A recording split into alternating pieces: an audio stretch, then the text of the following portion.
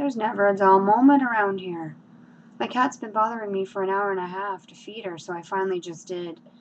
Um, I'm cooking a rump roast for dinner, so I've got to go get the potatoes and vegetables going. But anyways, um, Joseph, on those bookmarks that you made, um, one of them with the two with the two beadings, two of the beads um, fell off in the package here, so I just fixed it, and it's good as new. And to, to fix the problem, um, where you had the name, if I'm if I'm correct, I just used a permanent marker and just put Julia's name on, so it's good as new. So thank you so much once again for that. Oh, my nose is itchy. Um, I was being interrupted by the phone there the last time I tried to do a video. It was just a reminder uh, for Julia's appointment on Wednesday. We go back to the eye doctor, and the eye doctor said if everything's going um, as it should be, then she'll probably continue to wear the glasses until he says she doesn't have to, or he might put her on a patch if things aren't going as well.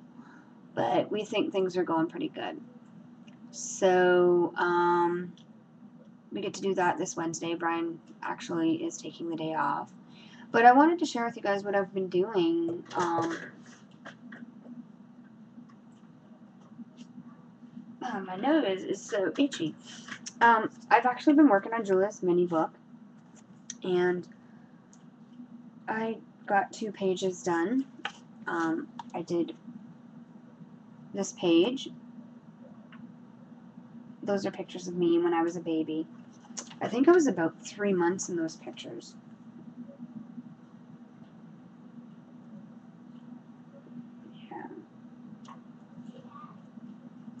And I started uh, this page. See, there's the picture of me.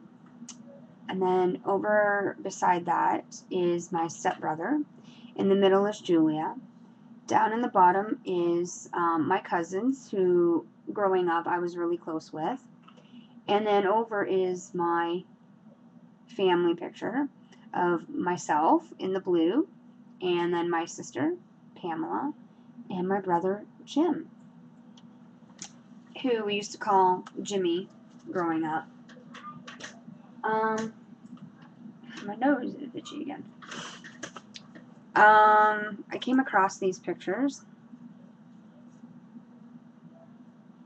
Wanted to share those with you.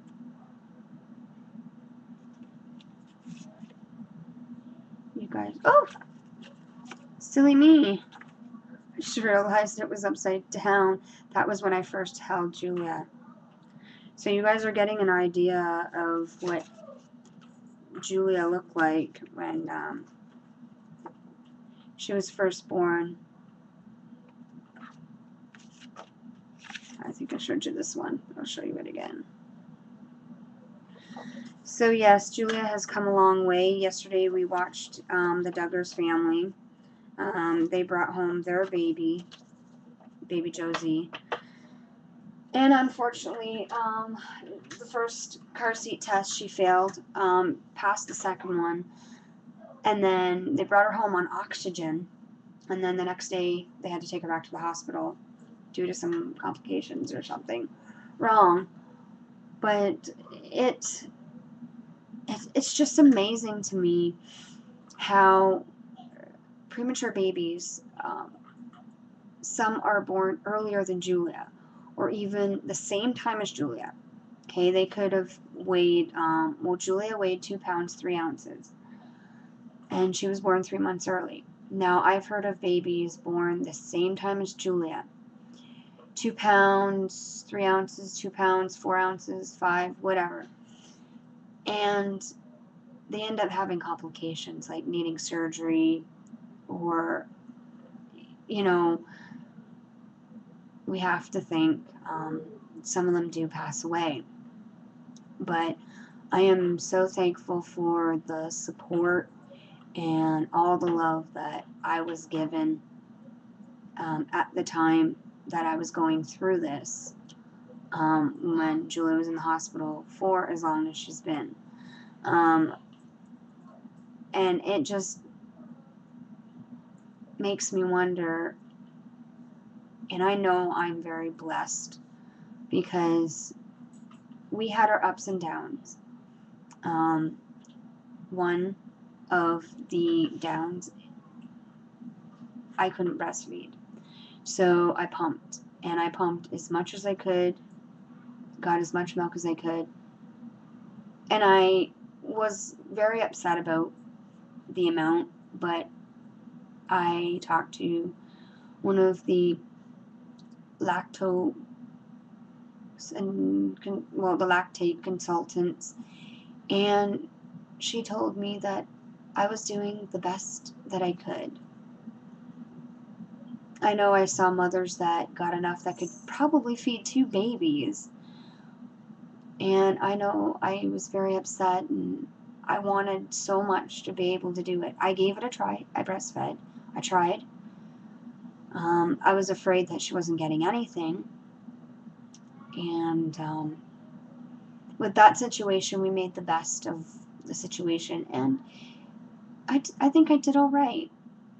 And we went through her having pneumonia. We got past that. She had a heart murmur. It just disappeared. She had jaundice. That was dealt with and fixed and gone.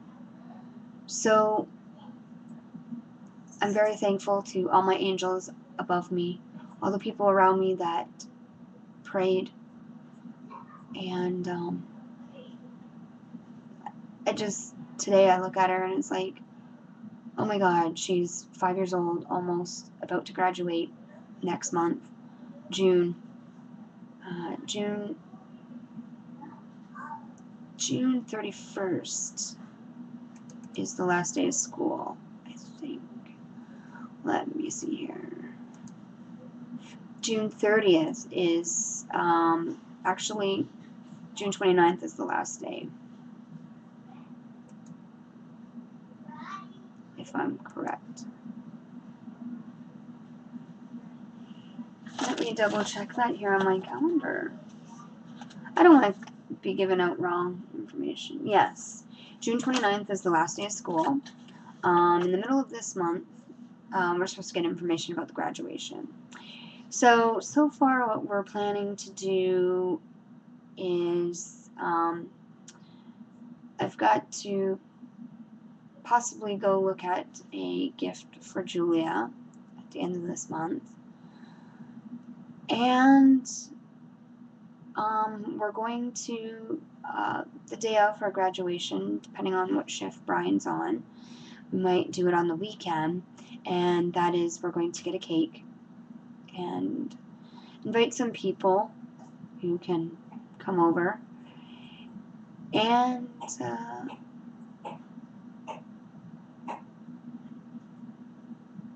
maybe have a little party or um, I think the day of graduation, I'm going to do something.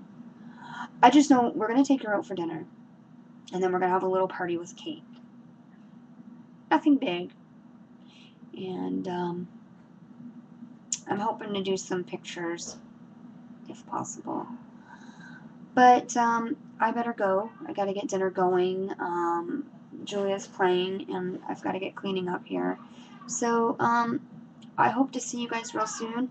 Have a wonderful week and a wonderful evening tonight. Take care. Bye, guys.